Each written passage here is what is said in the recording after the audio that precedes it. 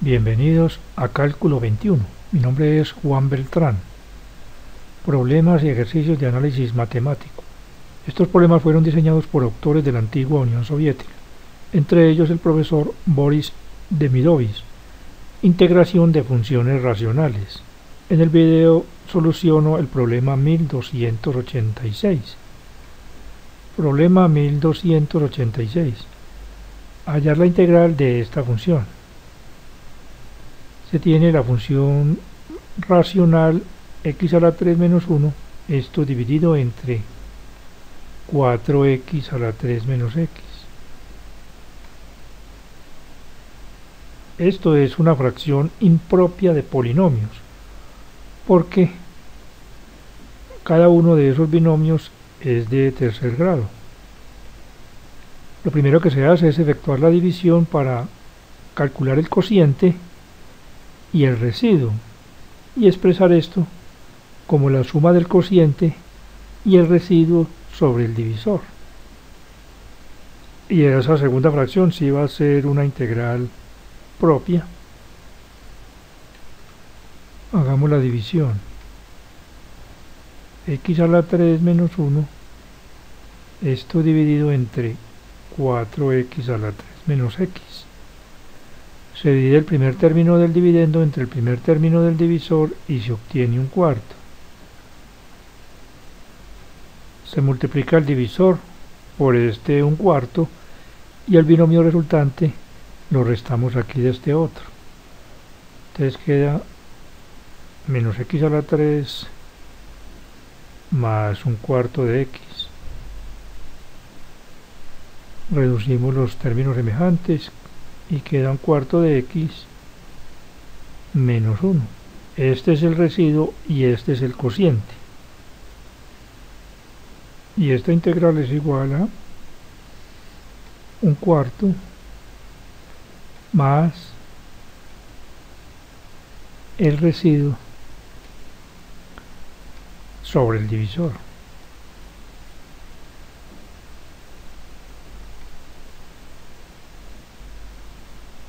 Expresamos la integral como la suma de dos integrales.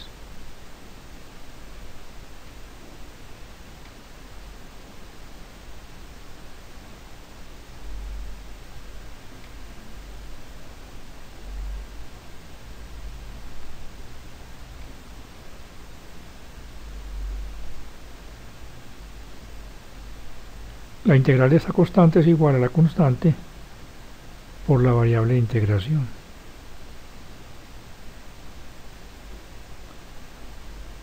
Factoricemos aquí el denominador, sacando factor común x, y queda 4x a la 2 menos 1. Ahora factorizamos esta diferencia de cuadrados, como 2x más 1 por 2x menos 1.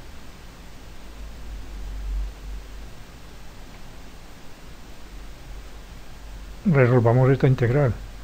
Aquí ya tenemos una fracción propia de polinomios. Y el polinomio en el denominador está factorizado y aparecen allí factores lineales. Vamos a descomponer esta fracción en una suma de fracciones parciales.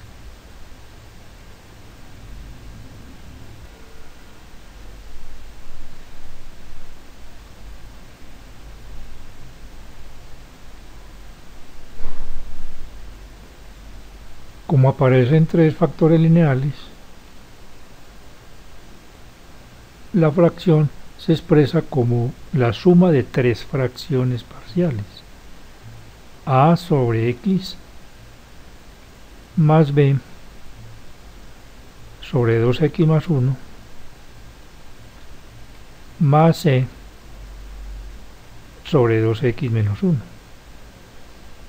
Ahora hay que encontrar el valor numérico de la A, la B y la C.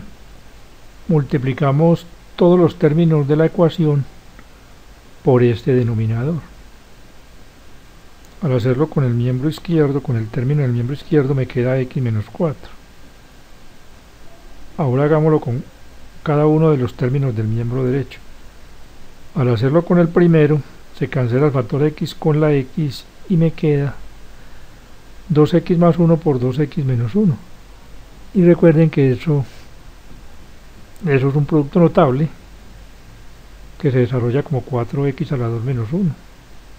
Esto por A más al multiplicar este segundo término por este producto se cancela el factor 2x más 1 con 2x más 1 y me queda x que multiplica a 2x menos 1. Yo voy a hacer de una vez ese producto que da 2x a la 2 menos x. Y por b más multiplicamos este tercer término por este producto cancelando 2x menos 1 con 2x menos 1 y queda el producto de estos dos factores, que es 2x a la 2 más x. Y eso multiplica a la c. Esto es una identidad, lo cual significa que es cierto para cualquier valor de la x. Voy a efectuar los productos que quedaron indicados aquí en el miembro derecho.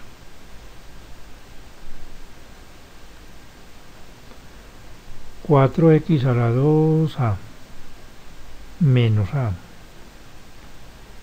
más 2x a la 2b menos xb más 2x a la 2c más xc. Ahora asocio los términos que estén con x al cuadrado, los términos que estén con x a la 1 y los términos que no tengan la x.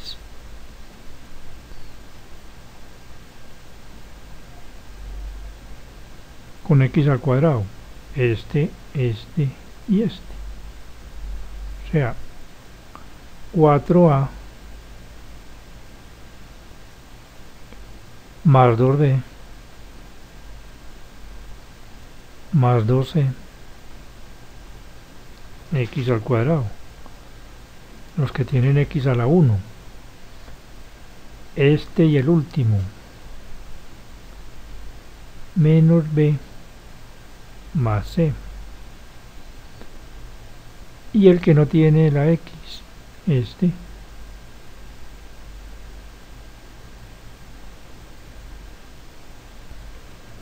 y como esto es una identidad, los coeficientes de los términos en ambos miembros deben de ser respectivamente iguales. El coeficiente de x a la 2 en el miembro derecho es 4a más 2b más c. Y en el miembro izquierdo no aparece un término con x a la 2. Entonces se supone que su coeficiente es 0 igualamos esos coeficientes de x a la 2. Creo que aquí es 2c.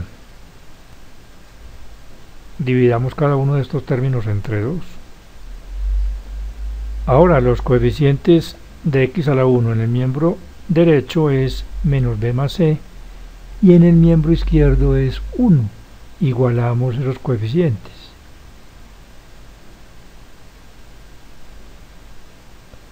Y el término que no tiene la x en el miembro derecho es menos A y en el miembro izquierdo es menos 4. Multipliquemos aquí cada uno de los miembros de la igualdad por menos 1. Y se ha obtenido un sistema de tres ecuaciones en las tres incógnitas A, B y C. Solucionamos el sistema y obtenemos pues los valores numéricos de la A, la B y la C. Ya sabemos que la A vale 4. Sumando a término a término las dos primeras ecuaciones, se cancela el término en b y queda igual a 1 menos b más c es igual a 1 y a es igual a 4. Como a es igual a 4, 2a es igual a 8. Pasa al otro lado a restar y queda 2c igual a menos 7. Por lo tanto, C es igual a menos 7 medios. Sustituyendo aquí queda menos 7 medios, para al otro lado como más 7 medios, 2 medios más 7 medios da 9 medios. Por lo tanto, b es igual a menos 9 medios. Escribámoslo por acá.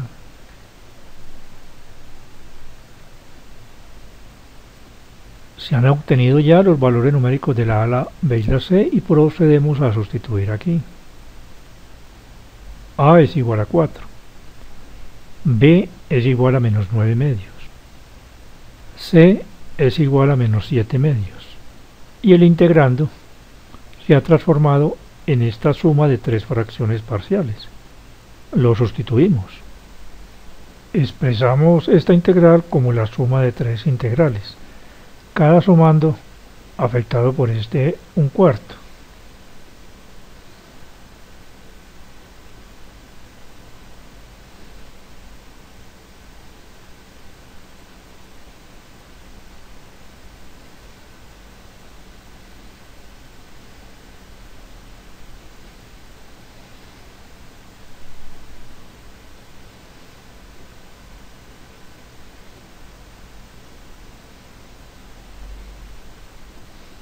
Ahora integramos.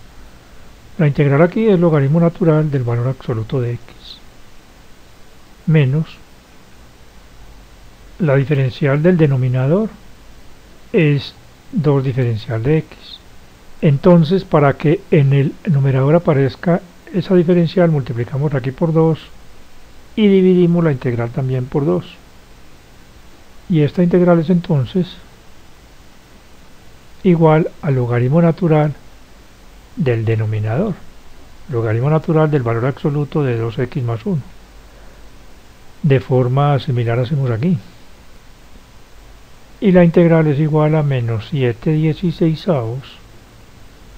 de el logaritmo natural del valor absoluto de 2x menos 1.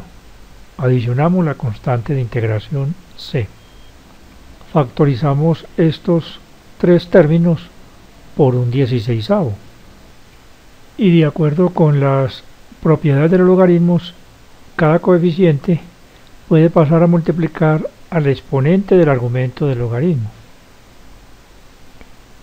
Por último, aplicando otras dos propiedades de los logaritmos, expresamos aquí esto como un solo logaritmo.